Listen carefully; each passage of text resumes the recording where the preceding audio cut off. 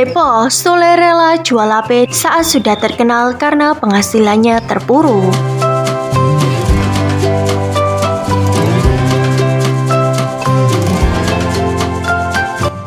Rasanya mustahil jika tidak menyebut nama Sule ketika membicarakan pelawak tersukses di Indonesia saat ini. Pria asal Cimahi, Jawa Barat itu adalah salah satu pelawak top di Indonesia. Kesuksesan Sule bermula saat bersama grup lawak SOS menjuarai kompetisi lawak di salah satu stasiun televisi.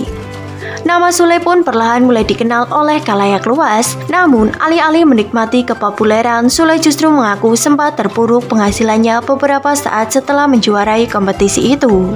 Karena saya terlalu terbalut dengan kebahagiaan waktu itu pas begitu menang, merasa saya bisa ke panggung nasional ucap Sule. Ternyata setelah kompetisi yang melambungkan namanya itu, justru Sule tawarannya sepi saat acara hingga membuat penghasilannya surut. Namun Sule tidak patah semangat, keterpurukan justru maju memacu motivasi untuk bangkit memperbaiki kehidupannya.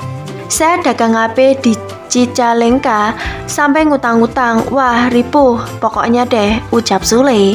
Sule juga sempat menjadi penyiar di sebuah stasiun radio di kota Bandung. Nah, itu sama saya dijadikan ajang latihan mengasah komunikasi. Sampai sekarang juga belajar kata Sule. Akhirnya, keyakinan Sule bisa bangkit dari keterpurukan membuahkan hasil. Setelah itu, Sule mendapatkan tawaran bermain di opera Van Java yang semakin melambungkan namanya hingga sukses seperti sekarang.